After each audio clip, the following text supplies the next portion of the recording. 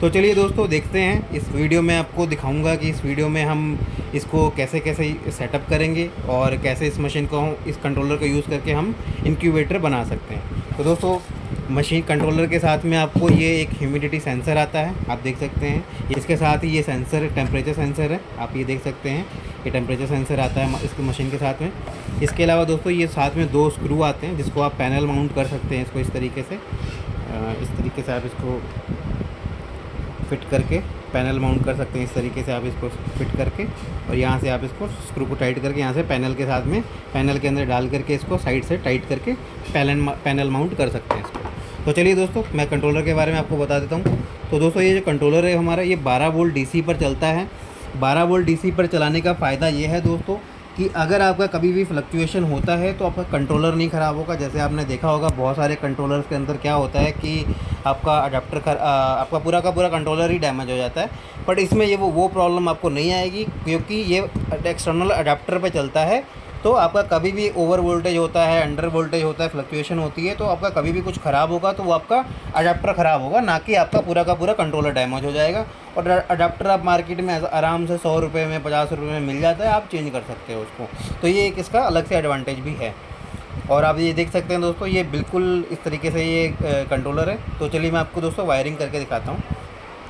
तो दोस्तों वायरिंग के लिए आप देख सकते हैं, यहाँ पे ह्यूमिडिटी सेंसर के हमने पॉइंट दिए हुए हैं कलर दिया हुआ रेड ग्रीन तो दोस्तों, ये जो हमारा कंट्रोलर है, ये आप देख सकते हैं।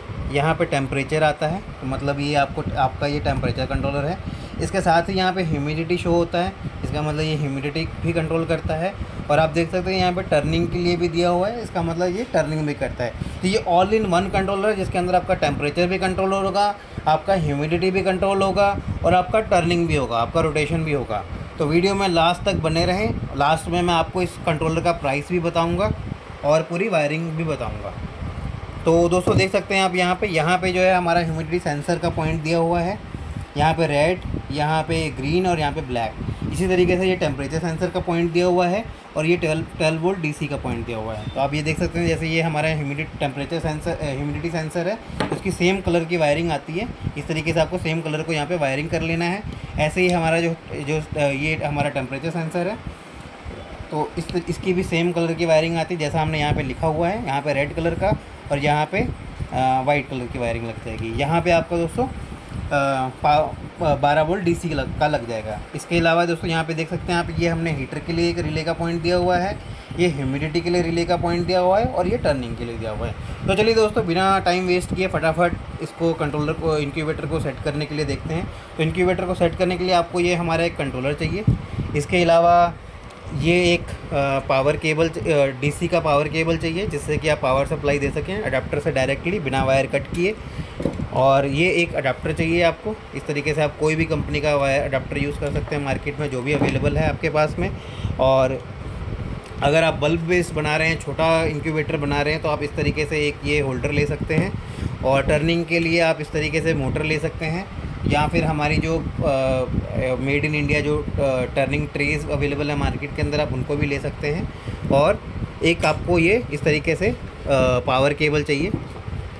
तो चलिए दोस्तों, फटाफट इसकी हम लोग फटाफट वायरिंग कर लेते हैं। तो वायरिंग करने के लिए सबसे पहले आपको दोस्तों क्या करना है, इस तरीके से छोटी छोटी दो जो है वो वायर के टुकड़े ले लीजिए, जिसको कि हम इसको जितने भी हमारे यहाँ पे सी के पॉइंट है, यहाँ पे जैसे आप देख सकते हैं सी के जो पॉइंट है, उनको आपस में हम लोग कनेक्ट कर देंगे, फटाफट। तो तो दोस्तों आप देख सकते हो, मैंने इसको कनेक्ट कर दिया है छः नंबर को, आठ नंबर को और दस नंबर को, इन तीनों को मैंने कॉमन एक वायर से कनेक्ट कर दिया है। आप जैसे देख सकते हैं सिक्स को एक से एट से एट को टेन से और इसको टाइट कर दिया मैंने। और अब दोस्तों, एक एक तरीके से आपको ये एक पावर का सप्लाई ले लेनी है। जैसा कि आप देख सकते हैं, ये एक पावर सप्लाई हमने ले लिया है, जिसकी कि एक वायर है। तो इसका जो एक वायर है दोस्तों, मुझे वो इसके साथ में जो दस नंबर का पॉइंट है, उसके साथ में मुझे इसको जोड़ देना है। तो मैं दस नंबर के साथ में एक इसको पॉइंट को जोड़ देता हूँ।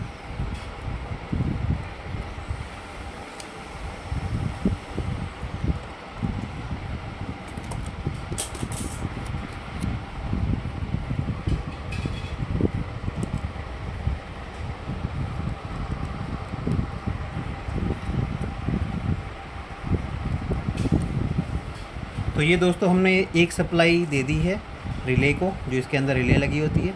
अब इस वायर से हम जो भी हम चलाना चलाते हैं, चाहते हैं डिवाइसेस जैसे कि मेरा ये हीटर हो गया, जो कि मेरा बल्ब होल्डर है। ठीक है? और इसके अलावा मेरे पास में एक ये फॉगर है तो मैं फॉगर भी चलाना चाहता हूँ। और इसके अलावा फोकर के साथ में मैं एक, ये जो मोटर है मोटर को भी चलाना चाहता हूँ। तो मैं इन तीनों की वायर जो हैं एक एक वायर उनको मैं आपस में कनेक्ट कर लूँगा। तो ये जैसे मैंने ये हीटर की एक वायर ले ली और एक मैंने फॉगर की आ, मोटर की वायर ले ली ठीक है दोस्तों? और साथ में मैंने एक मैंने ह्यूमिडिटी के लिए जो है हमारा पॉइंट उसको इन तीनों को आपस में कनेक्ट करने के बाद में इसको मैंने इसके साथ में पावर सप्लाई ये जो मेरी पावर सप्लाई की केबल है एक पावर सप्लाई की केबल मैंने यहाँ पर लगा दी दस नंबर पे और एक पावर सप्लाई के साथ में मैंने अपने हीटर मोटर और फॉगर की वायर को कनेक्ट कर दिया। अब मैं इसको कर दूँगा दोस्तों टेप ताकि ये सेफ़ रहे।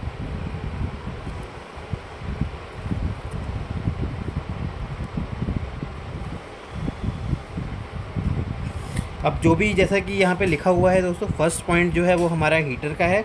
तो जो एक वायर बच गई हमारे हीटर की, जो हमारा होल्डर है, इसकी जो एक वायर बच गई है उसको मैं क्या करूँगा, ये जैसे मेरा हीटर का है तो उसको मैं हीटर के सी में जोड़ दूँगा एन में जोड़ दूँगा मतलब कि नाइन नंबर पॉइंट में।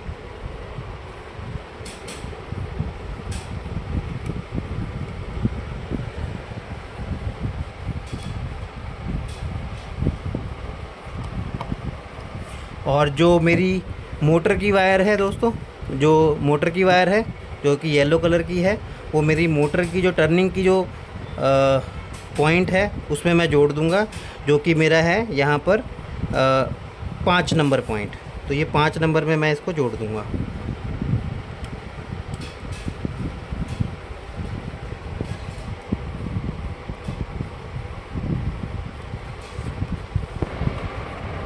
और जो दोस्तों, फॉगर की जो एक वायर बच गई है, उसको जो है मैं सात नंबर में जोड़ दूँगा। आपको परेशान होने की ज़रूरत नहीं है दोस्तों। वीडियो के लास्ट में हम एक डायग्राम भी आपको शेयर करेंगे और लिंक में भी आपको एक डायग्राम मिल जाएगा, जिसको आप देख करके बहुत ईजिली इसका कनेक्शन कर सकते हैं। तो आपको बिल्कुल भी परेशान होने की ज़रूरत नहीं है।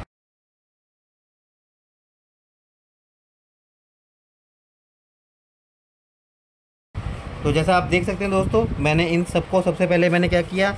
सिक्स नंबर, एट नंबर और टेन नंबर। इन तीनों वायर्स को मैंने एक रेड वायर के थ्रू कनेक्ट कर दिया। फिर टेन नंबर में मैंने पावर सप्लाई लिया, उसको जोड़ दिया यहाँ पर।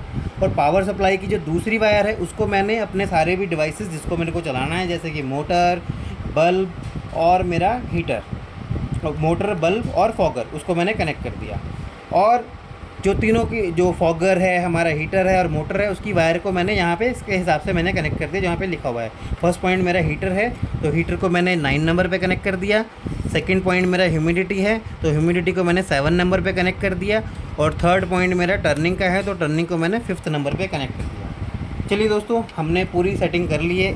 अब हम लोग जो है, वो पावर सप्लाई दे देते हैं। जो बारह वोल्ट का सप्लाई हमें देना है इसको तो बारह वोल्ट का तो ये दोस्तों हमारा जो पावर सॉकेट है डीसी पावर सॉकेट इसका जो रेड वायर है, ये इसको मैं प्लस में जोड़ दूँगा और जो माइनस वायर है, उसको जो ब्लैक वायर है, उसको मैं माइनस में जोड़ दूँगा।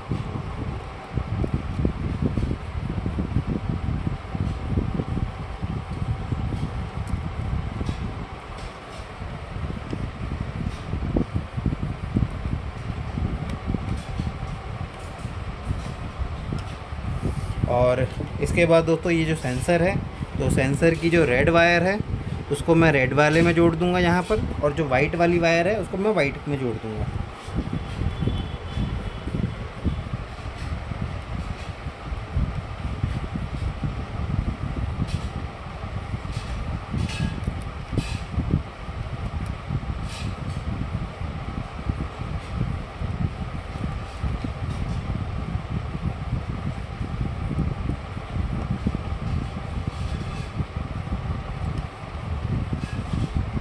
इसी तरीके से दोस्तों, जो ये जो ह्यूमिडिटी की वायर है, आप देख सकते हैं, यहाँ भी तीन कलर की वायर है और तीन कलर हमने यहाँ पे इसमें भी बनाया हुआ है कंट्रोलर के ऊपर। तो इसको भी मैं इसके हिसाब से कनेक्ट कर दूँगा। फ़र्स्ट रेड वायर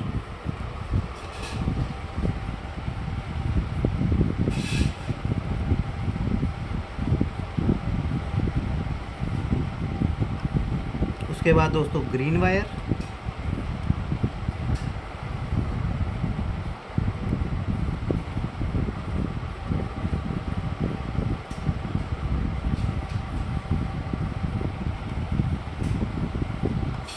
लास्ट में दोस्तों ब्लैक वायर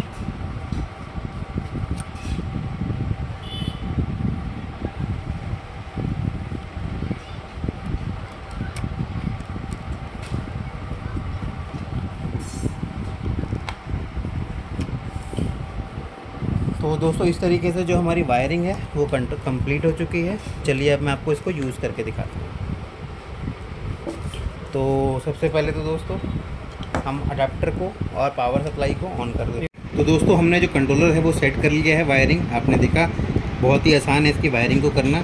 चलिए अब कंट्रोलर और इसके फीचर्स के बारे में देख लेते हैं दोस्तों। तो यहाँ पे जो फ़र्स्ट है, यहाँ पे ये आपको टेम्परेचर शो करता है, जो एक्चुअल में टेम्परेचर की रीडिंग सेंसर्स पे आ रही है। नेक्स्ट जो है, ये हमारा ह्यूमिडिटी शो करता है, जो कि हमारे ह्यूमिडिटी सेंसर से रीडिंग आ रही होती है। इसके अलावा दोस्तों यहाँ पे एल दी हुई हैं टेम्परेचर का एलईडी अगर ये आपकी सेट वैल्यू से कम रहता है तो आपका ये जो टेम्परेचर का ऑन है, इसका मतलब आपका हीटर जो है वो ऑन है। इसके अलावा अगर आपकी ये ह्यूमिडिटी सेट वैल्यू से कम रहती है तो आपका ये वेट ऑन होता है, इसका मतलब आपका फॉगर या ह्यूमिडिटी के लिए आपने जो भी लगाया सिस्टम वो ऑन है। इसके अलावा यहाँ टर्निंग के लिए दिया हुआ है। तो टर्निंग दोस्तों, जब भी आपका ऑन होता है टर्निंग ये ऑटोमेटिक टर्निंग करता है दोस्तों। एवरी टू आवर दो घंटे 120 मिनट के बाद में ये टर्निंग करता है। तो जब भी ये टर्निंग होएगा, ये ऑन हो जाएगा। इसके अलावा अगर आपको सिर्फ़ चेक करना है देखने के लिए तो आप इसको सेट बटन को प्रेस करके आप देख सकते हैं। यहाँ पे ये देखिए टर्निंग ऑन हो गई है। तो आप ये देख सकते हैं दोस्तों ये आपकी जो रोटेशन है, आप स्टार्ट हो गई है। आप देख सकते हैं दोस्तों, इस तरीके से। तो ये आपकी टर्निंग स्टार्ट हो गई है आपकी यहाँ पे टर्निंग की लाइट भी ऑन है। इस तरीके से आप देख सकते हैं। तो आप देख सकते हैं, हमने जो सेट कर रखा है इसको 37.5 पे सेट कर रखा है। तो जो अभी का जो करंट रीडिंग आप देख सकते हैं 31.5 है। तो आप देख सकते हैं, जैसे ही मैं इसके होल्डर में यहाँ पे हीटर के लिए बल्ब लगाऊँगा, जैसे हमने कनेक्शन कर रखा था तो आप देख सकते हैं इसका जो हीटर है, वो ऑन हो गया है। आप देख सकते हैं बल्ब ऑन है। और जैसे ही मैं इसका सेंसर इसके बल्ब के पास में लेकर के जाता हूँ तो आप देख सकते हैं, इसकी रीडिंग जो है वो फटाफट इंक्रीज़ होना शुरू हो जाएगी। आप ये देख सकते हैं। फोकस आप ये देख सकते हैं दोस्तों। तो जैसे हमने इसको सेट कर रखा था थर्टी सेवन पे थर्टी सेवन पॉइंट फाइव पे और थर्टी सेवन पॉइंट सेवन पे ये ऑफ़ हो जाएगा। देखिए थर्टी एट आया तो ये आपका ऑफ़ हो गया, देखिए। अभी ये बल्ब था और हमने डायरेक्टली इसको सेंसर को टच करके रखा था, इसलिए ये रीडिंग इसका काफ़ी ऊपर चला गया है। तो जैसे ही आप देख सकते हैं, इसको मैं पानी में डिप करता हूँ। तो इसका जो टेम्परेचर है वो ड्रॉप होना शुरू हो जाएगा। आप देख सकते हैं। ये कूलिंग के लिए दोस्तों, आप देखिए फिर से ये आपका हीटर ऑन हो गया है। तो इस तरीके से ये टेम्परेचर आपको ऑटोमेटिक कंट्रोल करेगा दोस्तों। इसी तरीके से आप देख सकते हैं, ये ह्यूमिडिटी के लिए हमने दोस्तों ये फॉगर लगाया है। आप ये देख सकते हैं फॉगर लगाया है हमने। तो मैं फॉगर का कनेक्शन भी कर देता हूँ। तो आप देख सकते हैं दोस्तों फॉगर भी जो है वो हमारा स्टार्ट हो गया है। और मैंने आपको पहले ही आपको इसका जो है वो दिखा दिया था। रोटेशन कैसे होता है तो आप ये देख सकते हैं। अगेन दोस्तों, अगर जैसे आप देख सकते हैं टेम्परेचर जो हमारा सेट वैल्यू है, इसका जो टेम्परेचर का सेटिंग के बारे में आपको बता देता हूँ। तो टेम्परेचर का इसमें दो सेटिंग होता है एस वन और एस टू से आप टेम्परेचर सेट कर सकते हो upper and lower limit S three और एस फोर से आप ह्यूमिडिटी का सेट कर सकते हो अपर एंड लोअर लिमिट तो एस वन जो होता है, वो टेम्परेचर का लोअर लिमिट होता है। आप देख सकते हो थर्टी सेवन पॉइंट फाइव पे हमने इसको सेट किया है। और ऐसे ही लो अपर लिमिट चेक करने के लिए दोस्तों एस टू प्रेस करेंगे तो टेम्परेचर का अपर लिमिट मतलब कि अपर और लोअर लिमिट का क्या मतलब होता है? अपर लिमिट वो लिमिट होती है जहाँ पे आपका टेम्परेचर पहुँचने के बाद में यहाँ पे हीटर आपका बंद हो जाएगा। मतलब कि ऑटो कट लग जाता है यहाँ पे। लोअर लिमिट वो होता है जहाँ पर आने के बाद में अगर इस टेम्परेचर आपका इसके नीचे रहता है तो हीटर जो है आपका ऑन हो जाता है। तो ये होता है।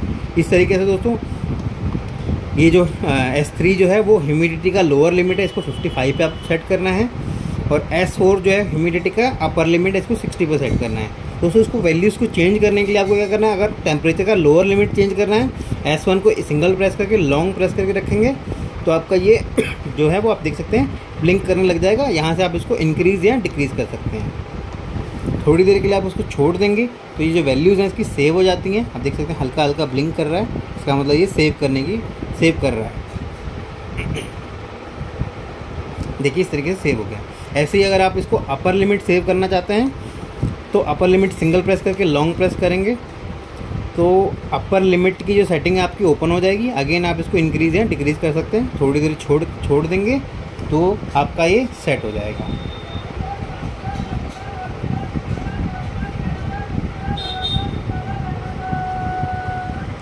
अगर आपको ह्यूमिडिटी का upper and lower limit change करना है तो आप ये ओपन करके इसको लॉन्ग प्रेस करेंगे। तो आप देख सकते हैं ह्यूमिडिटी का लोअर लिमिट ओपन हो गया है। आप इसको इंक्रीज या डिक्रीज़ कर सकते हैं। 55 पे सेट करके आप थोड़ी देर इसको छोड़ दीजिए, ये सेव हो जाएगा।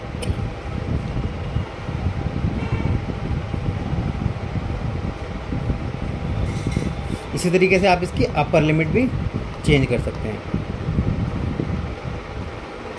एस फोर प्रेस करेंगे सिंगल प्रेस फिर लॉन्ग प्रेस तो आपका ह्यूमिडिटी का सेटिंग ओपन हो जाएगा।